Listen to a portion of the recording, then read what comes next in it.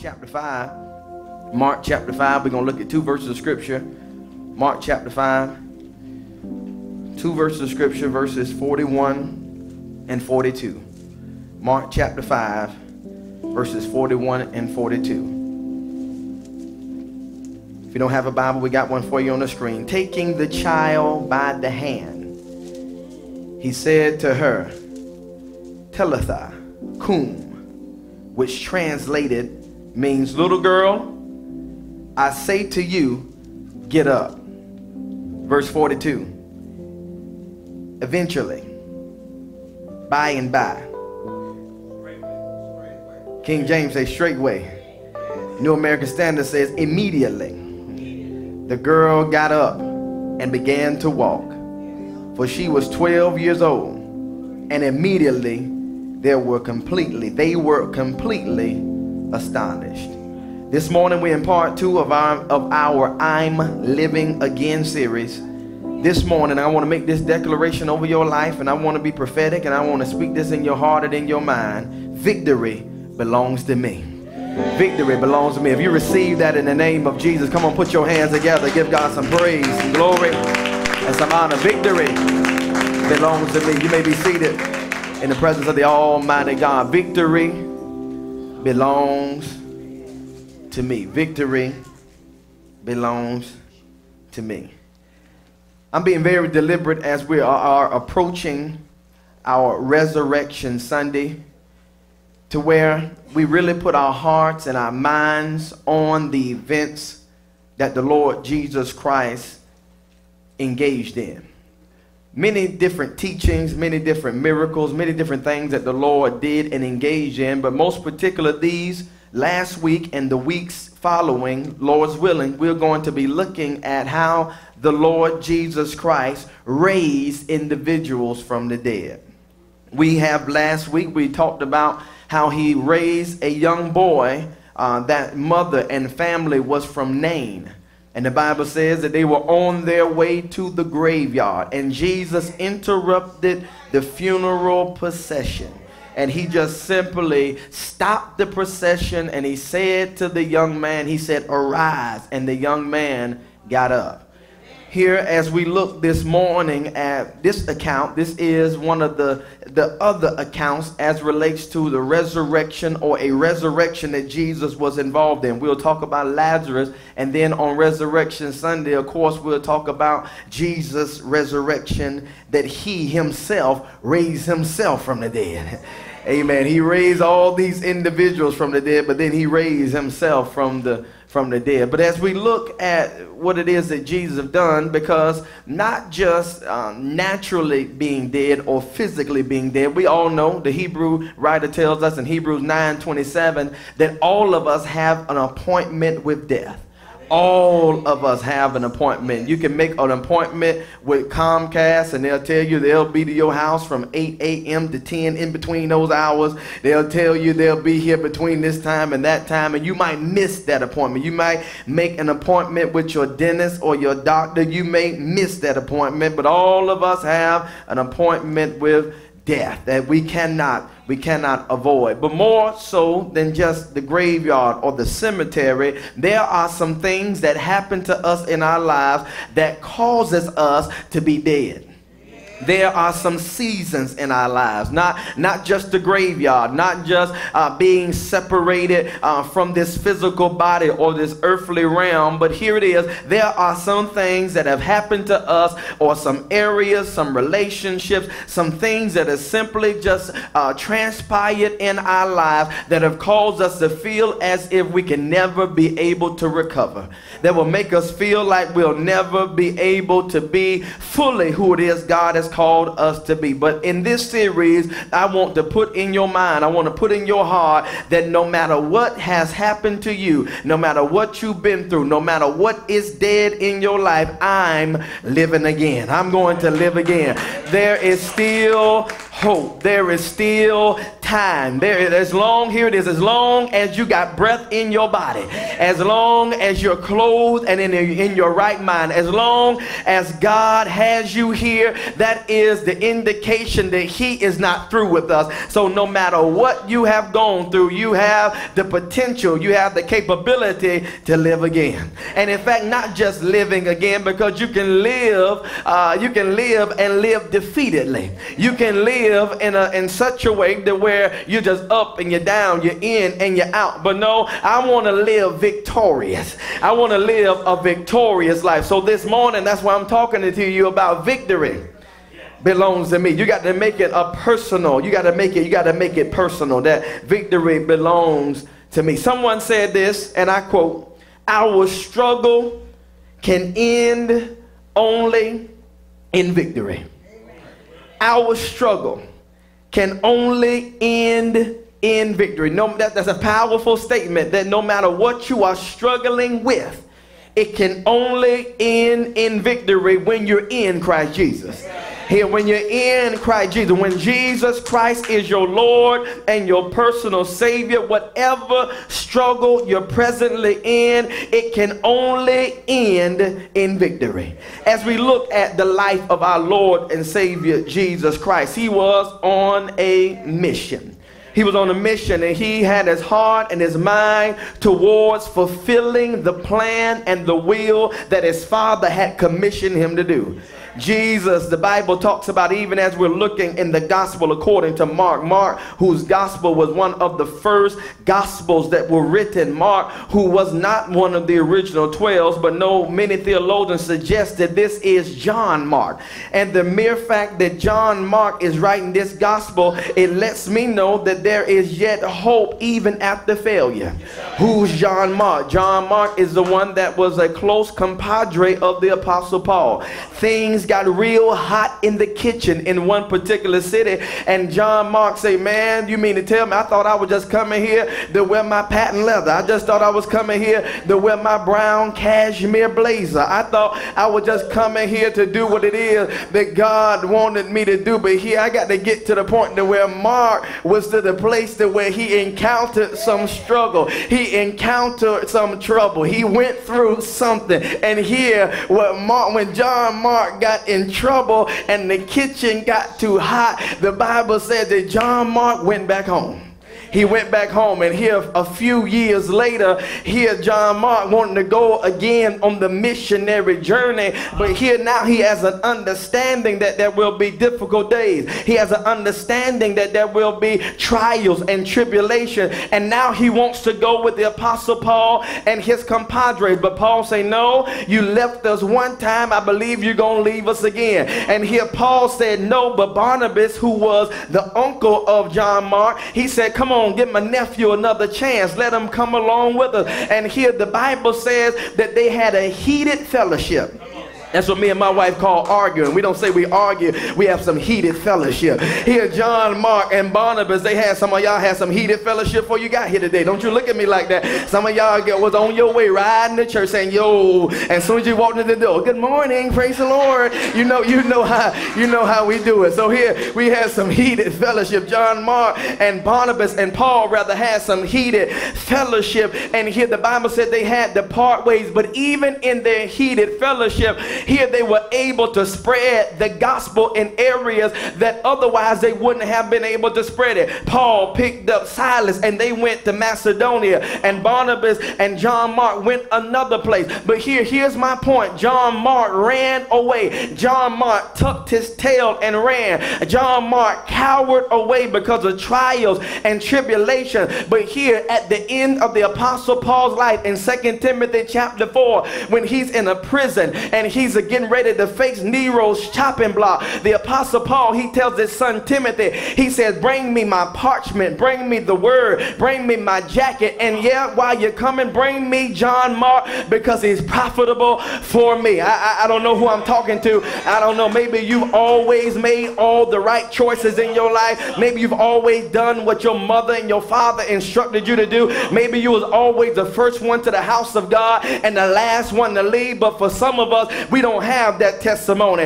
There was a season, there was a space in our lives where we were unprofitable. But I'm so glad that I don't have to be defined by one particular stage or one particular season in my life, but I can be the comeback here. Look at somebody say, I'm the comeback here. I might was not profitable then, but here I'm profitable now. And here you mean to tell me a backsliding preacher is the first one to write the gospel? You mean to tell me one that left the ministry, one that forsook Paul and said, Paul, I'm not getting no bricks upside my head. Paul, they're not going to cut my head off. I'm going to ease on, ease on down the road. I'm getting up out of here. Mean to tell me he the first one to write the gospel story. And here, see, those of us that have been forgiven much, that's why we go so hard for God. Those of us that have been through all this struggle, we've been through all this pain, we've been through this and we've done that. Here, Jesus said, He that is forgiven much, they love much. And here, John Mark was the first one that ran away, but now he the first one to write the gospel story. Can I tell you that no matter what you've been through,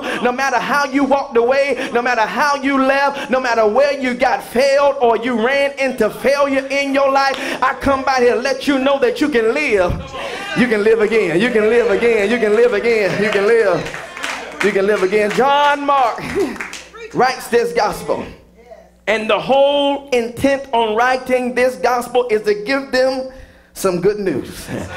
That's what the gospel story is. The gospel is the good news, the life, the death, the burial, and the resurrection, and the second coming of the Lord Jesus Christ. That is, my friend, some, some good news. Don't, don't you need some good news in times like this? Don't you need some good news with all of the things that's going on in the world, with all the things that's going on in your life, what's going on with, in your marriage, what's going on in your head, what's going on in your body? Don't you need some good news? And here Mark picks up his pen by divine inspiration of the Holy Ghost. And Mark even gets his account from the Apostle Peter. And he's sitting there listening to Peter talk and Mark writing it down. And here, can I tell you, anytime you're in the presence of a real man of God, you ought to be writing some stuff down. You ought to be taking some notes. You ought to be taking some memoir because here you'll know that the man of God not always gonna, gonna be there.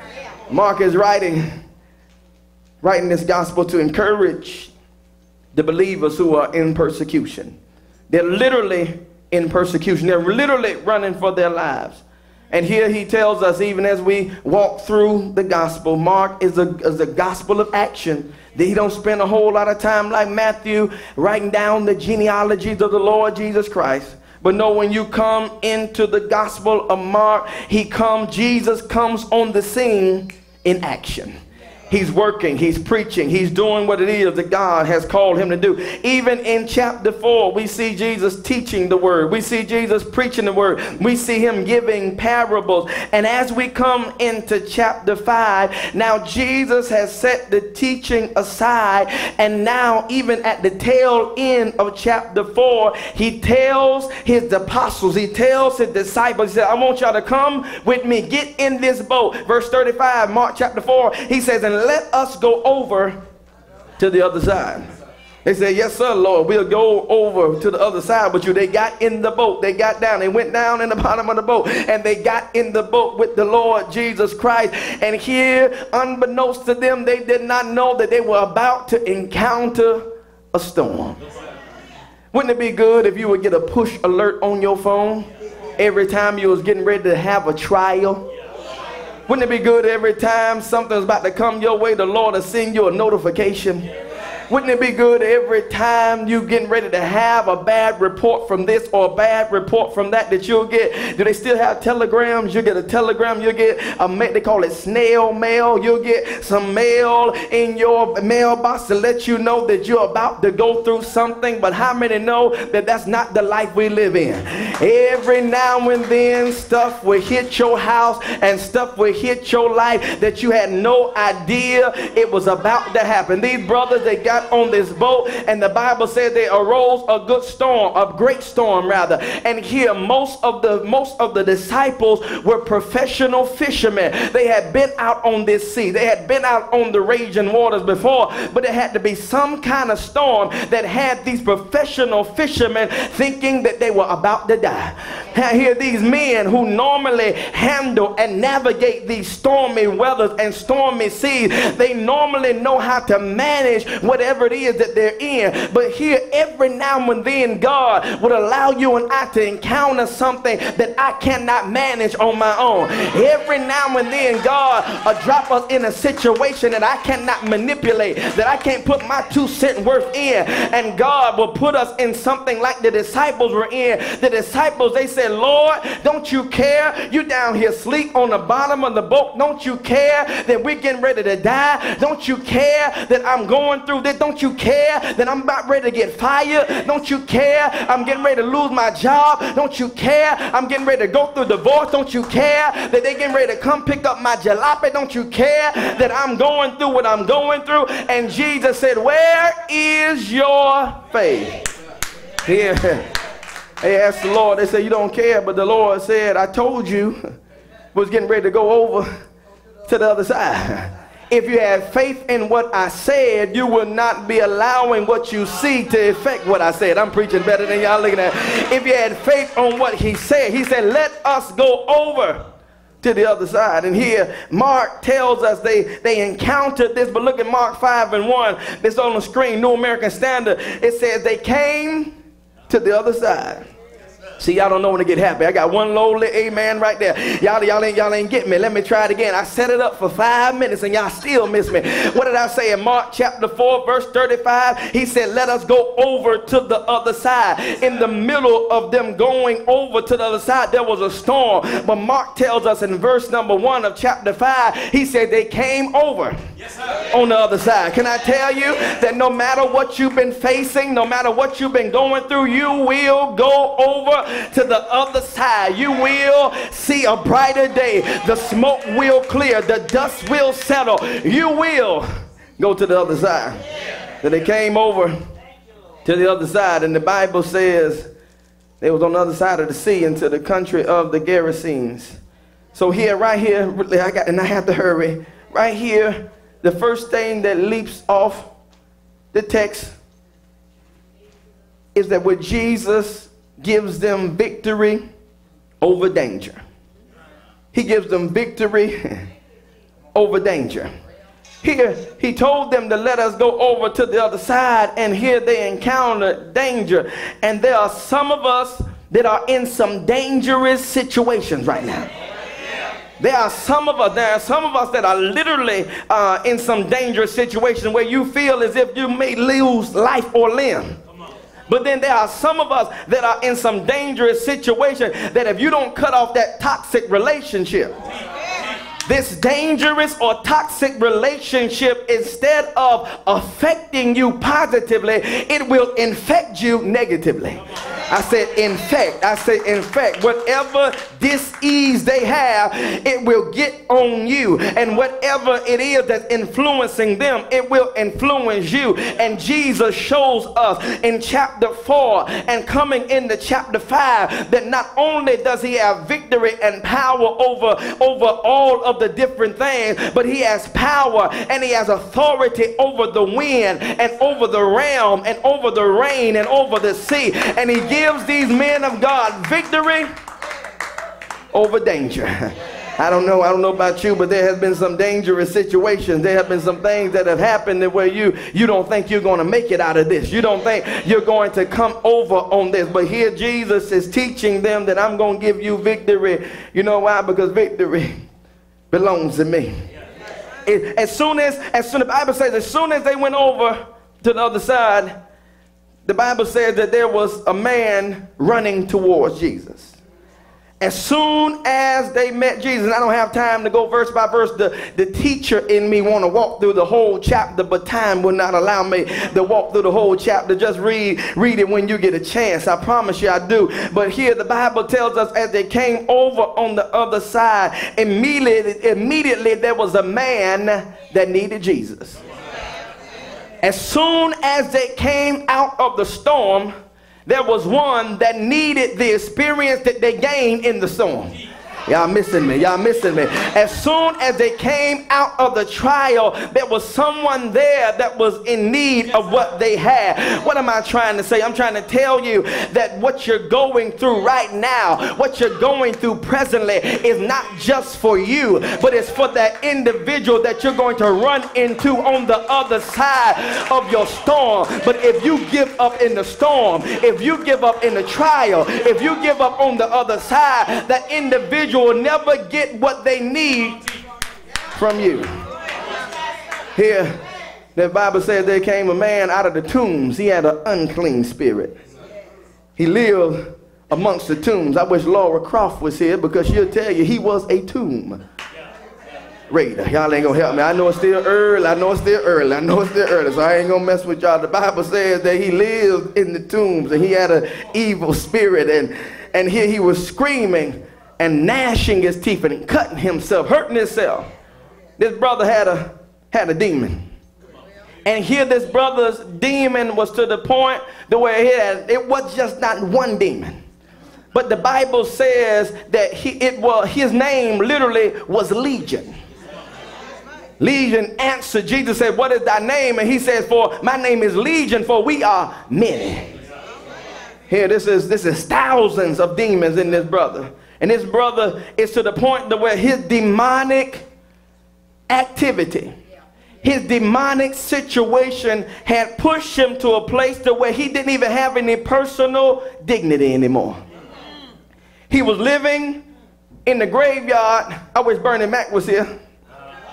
He'll tell you he was bucket naked. Y'all, he, this brother, this brother was, this brother was. The Bible says he was naked. I didn't say it. The Bible says he was naked. Y'all looking at me like how that preacher. He, the Bible says he was, he was. He had no dignity. What y'all watching Players Club for anyway? Y'all don't know nothing about no Players Club. Yeah, yeah, yeah, yeah. Damn it, uh, mercy. Anyway, the Bible says that this brother was in the tombs. And here he was so in the tombs, he had left all, he had no personal dignity. You will not be allowing your demonic situation to push you to a point to where you're personally degrading yourself, would you? This brother had no personal dignity. He's out there naked. And not only that, he withdrew himself from society he withdrew himself. See, the demonic pressure was so in his life that where he ran away from anyone who could help him. You want to know how, if you're really dealing with a demonic situation, you cut off and you sever relationships of those who can help you or pull you out because the demon don't want you to be free. The demon don't want you to get to the point that where you hear the word. That's why they have us so distracted. That's why they have us falling asleep. That's why they have us thinking about did I cut the biscuits off before I left. That's why they have us have a mind here and a mind there. Dog, I thought this was supposed to be an hour service. This is 10 o'clock. He just got started. He has our mind on everything but hearing what it is that God wants us to hear. And here this brother, not only was he personally degrading himself, he withdrew himself from everyone that can help him. And then not only that, he did not have any regard for the normal comforts that was available to him. There are some things that was available to him just simply being a man and simply being a human being. And there are some things that belong to you and I just simply being a child of God. Can I tell you that peace belongs to you? Can I tell you that joy belongs to you? Can I tell you that long suffering is a fruit of the Spirit? And there are some things that, that belong to us that we do not receive because the demon and the devils are influencing our lives. His brother, his brother had a had an attraction to the unclean. He lived among the tombs. He he was violent. He was screaming. He was hurting himself. Lord have mercy. Can I tell you that that's the devil's job? To isolate you and I, to cause us to get to the point to where we don't want anyone to help us, don't want anyone to say anything to us. We're violent, we're upset, we, we, we lash out on people who only trying to help us, and we say they hating on me. Can I give you a word this morning? Ain't nobody hating on you. Can I tell you, you're not that important for someone to be making up and they got out their bed and got dressed this morning and say, you know, I'm going to go hate on Jerry today. No, no, eh, ain't nobody that in. Here, this, this brother was cut off. He was hurting himself. And that's what happens. The demon just simply want you and I to hurt ourselves. In fact, he's setting us up for the fall. John 10 10, to steal, kill, and to destroy. But look at verse 8. Verse 8 says, Jesus encountered his brother, and he says, For he had been saying to him, Come out of the man, you unclean spirit. I want to announce something to you this morning that not only Jesus will give me victory over danger, but Jesus gives you and I victory over demons. He gives us victory over that. Jesus says to him, He says, Come out of him. And here, that's what Jesus will say to you and I today.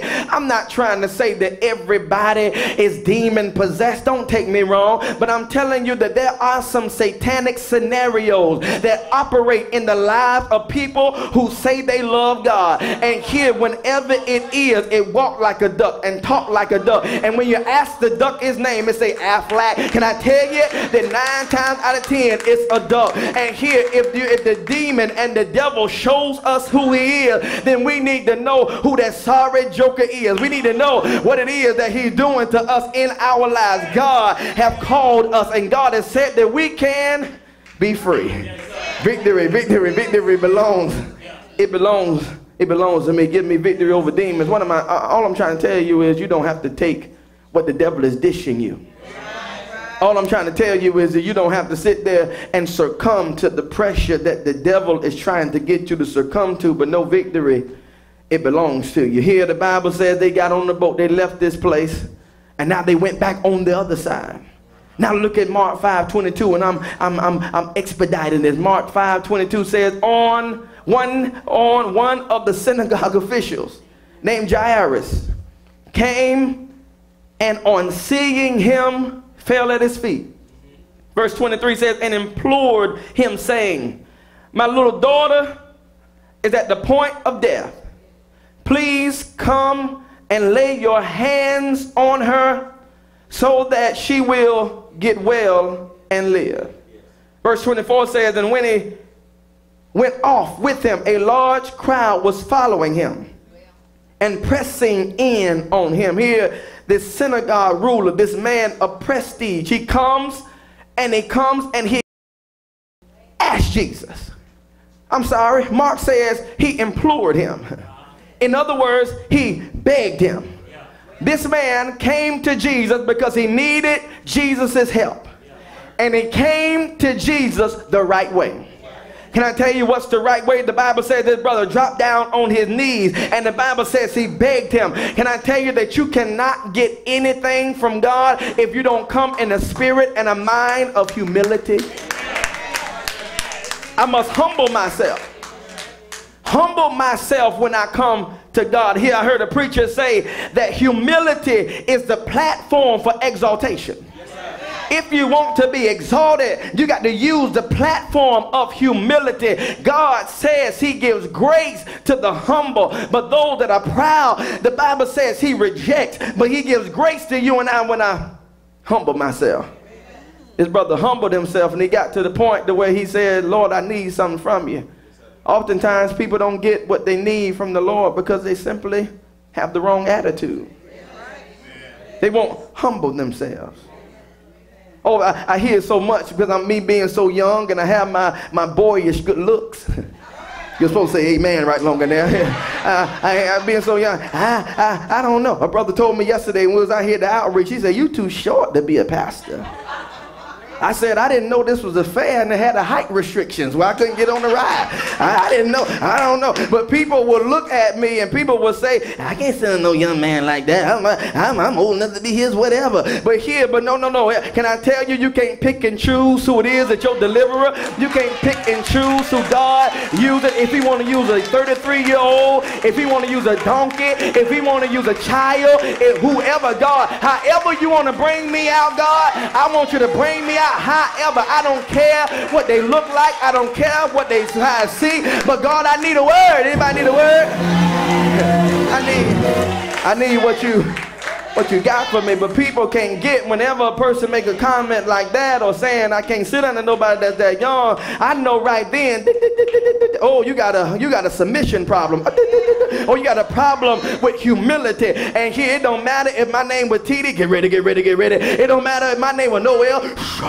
It don't matter if my name was it don't matter my name was Dollar and walked around with it don't matter what my name. You can't receive from something because your mindset is not in the proper posture. And you'll find find a problem with them just like you find a problem with little old.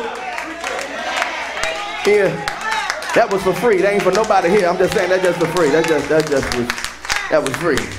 This brother came and humbled himself. You can't get fed. Hey, Lord have mercy.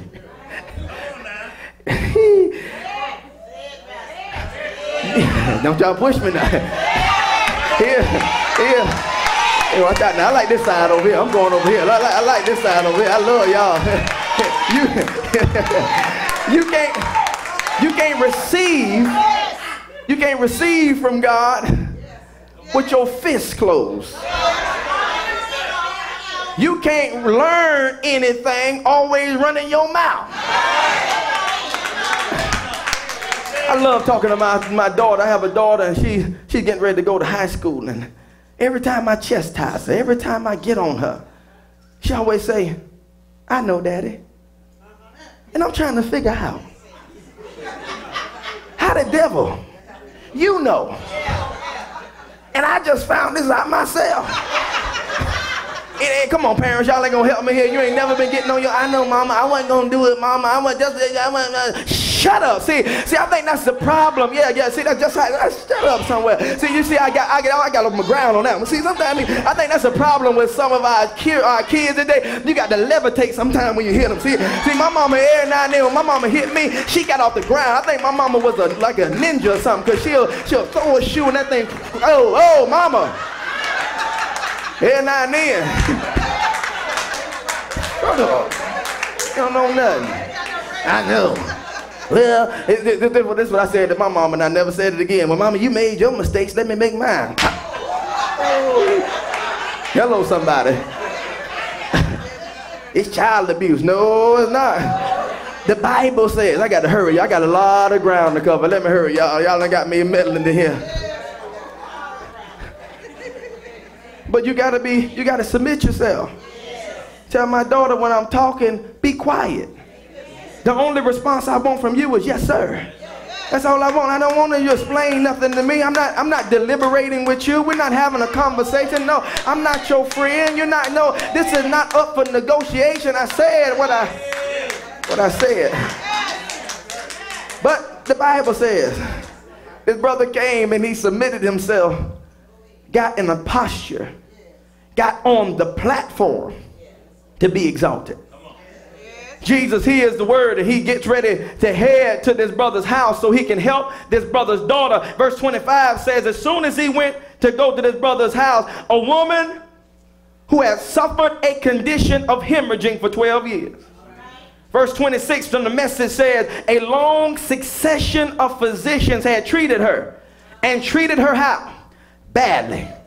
Taking all of her money and leaving her worse off than before.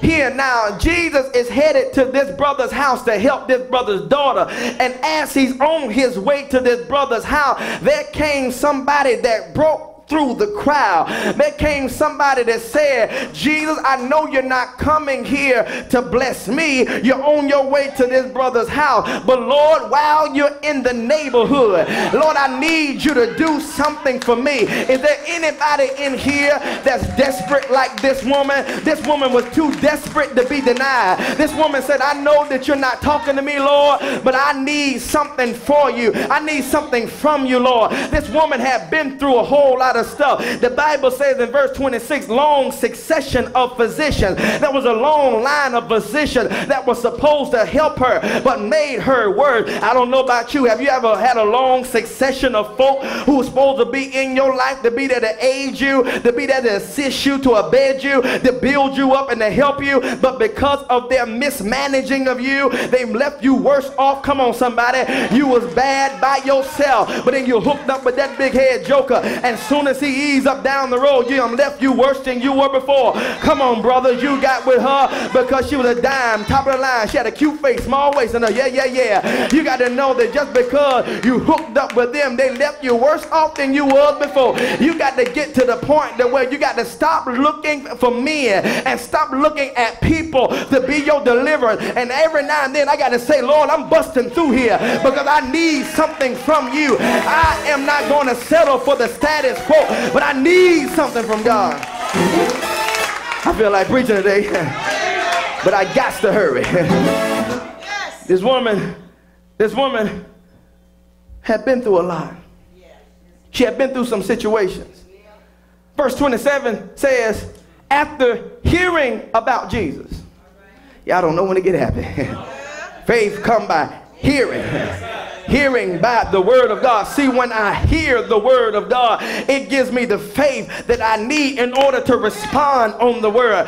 Faith without works is dead. And that's why God allows me to hear the word so I can put the word in action. And here the Bible says when this woman had heard about Jesus, I heard how he cast out devils. I heard how he spoke to the wind, the rain, and the sea. I heard how he did this and did that. I know that he has no respect of person. Lord, is there something something there for me. The Bible says she came up in the crowd behind him. Y'all look at somebody and say, I'm coming up from behind. I might be behind on the scoreboard right now, but I'm coming up from behind. See, she didn't come in front of Jesus. She came from behind. She came from around the corner. She was crawling on the ground, not even supposed to be there. The Bible says she was hemorrhaging. The Bible says she had a flow of blood. She would not be able, she was not able to stop, and her body was not shutting off the way it was supposed to shut off it was not cycling properly. What happens whenever the cycle is broken? What happens whenever something that's not supposed to keep on flowing keeps on flowing in your life? What happens whenever it is that something that's supposed to be this way is going another way? You don't sit there and just take it how it is, but no, you got to bust through some things and say, Lord, I need something. I need something from you. You heard about Jesus. And she came up from behind him and touched his cloak. King James says she grabbed the, the hem of his garment. Look at verse 28 says, For she thought, if I just touch his garment.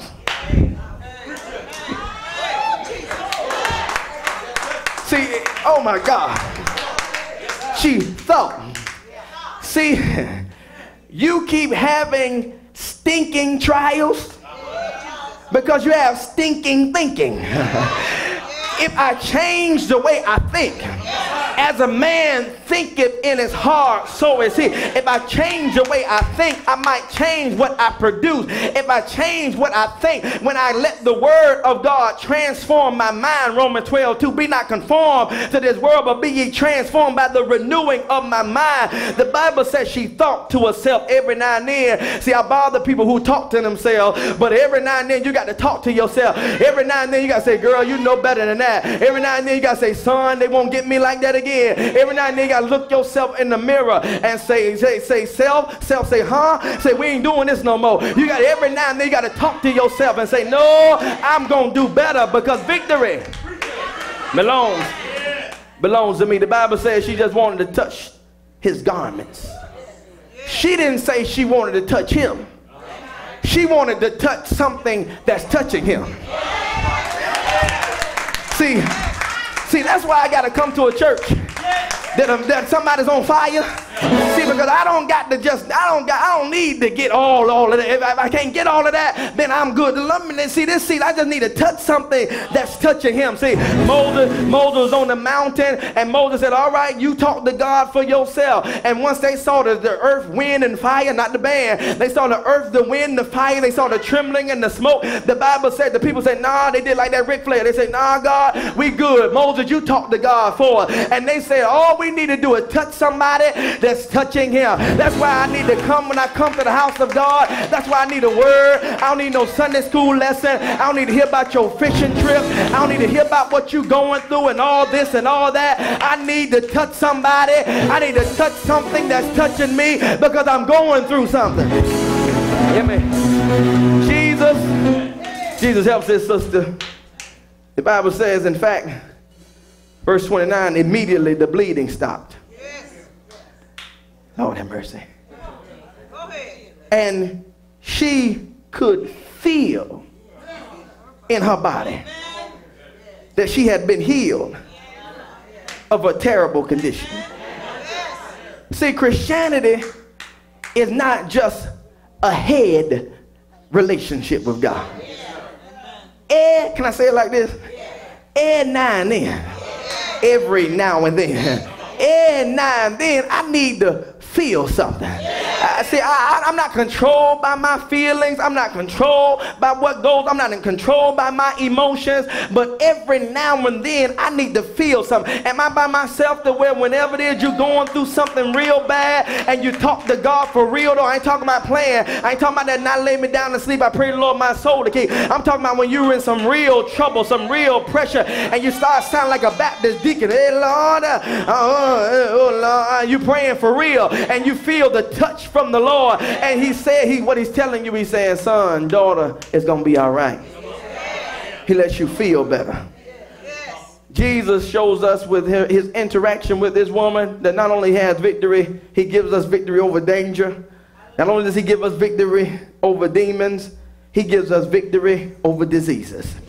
He shows us, he gives us victory over diseases. And here Jesus is in the middle of this crowd and they're saying to him, they're saying, Jesus saying, somebody touch me. Somebody touch me. And here Jesus says, uh, they, they touching me. They touch, they say, Lord, we, they, they all around you. Everybody touching you. He say, no, somebody really touching me. And see, that's how I know you can be in a congregation full of folk and here some people can just be here. But then there's some people that could be pressing in and really be touching him. Have ever been in a service before? and it was a life-changing service and you just crying your eyes out. You can't get yourself together. You still toe up from the flow up at the service. And you you just god have just done something for you. And then you talk to somebody that was sitting right next to you. What time is it again and see, see, eh, see, that time you was pushing in. And they were just here. They were just in the building. But see, there's two different kind of touches. See, you can be in a room but not be not be touching. Let me let me get to my point. Because while verse 35, while he was speaking, while he's talking to this young lady, this young lady tells him everything that was going on with him.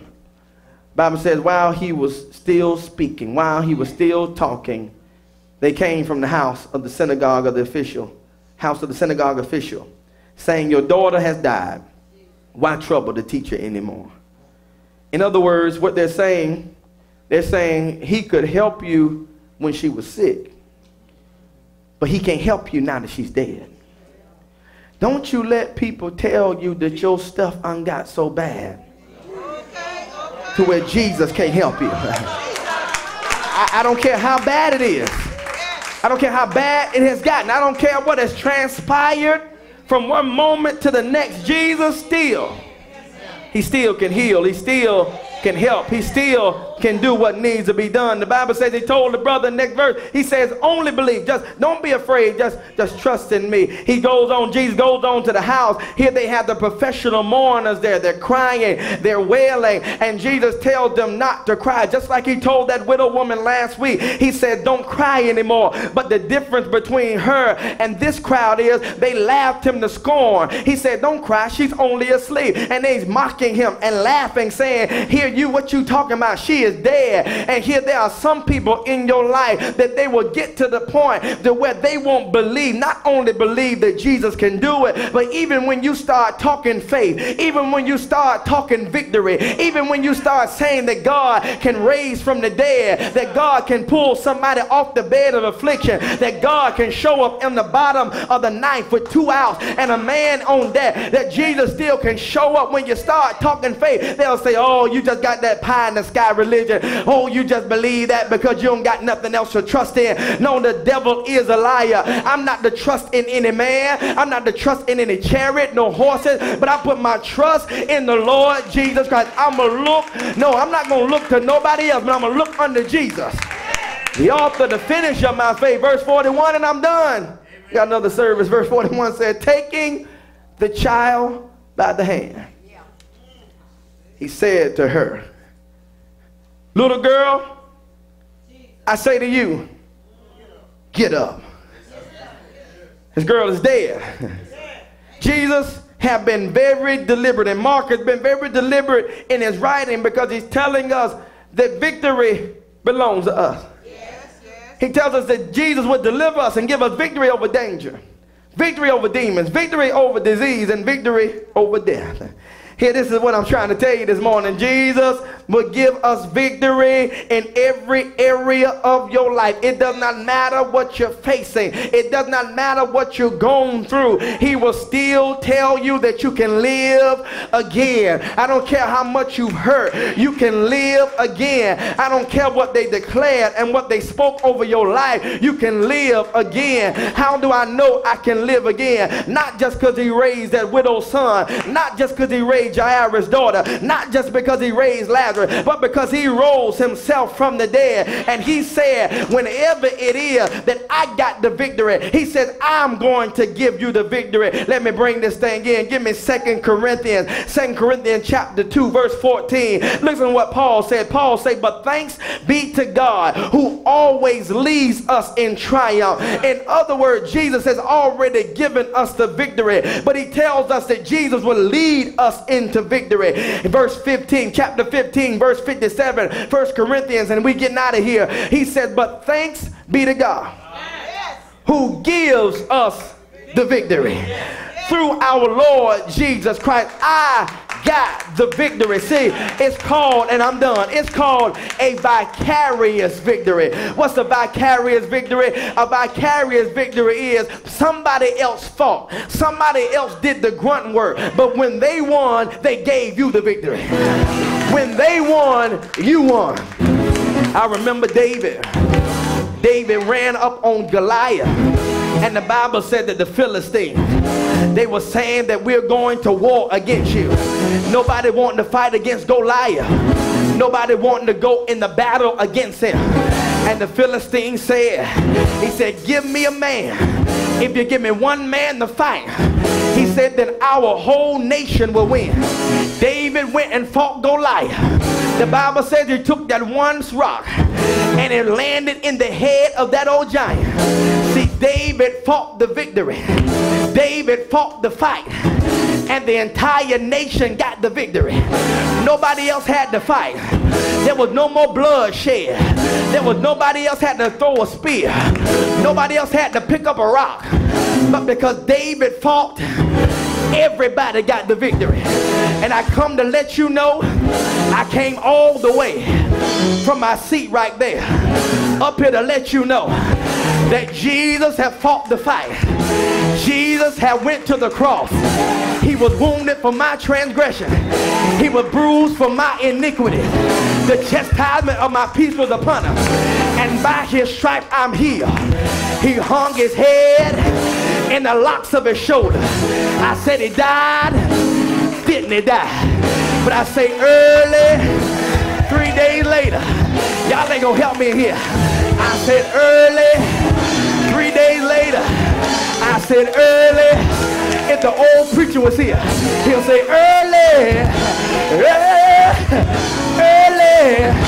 Three days later, he got up with all power in his hand. And when he got up with all power, he said, victory belongs to you. I got the victory. You got the victory. We got the victory. Come on, put your victorious hand together and give God some praise. Give him glory. Give him honor. Hallelujah.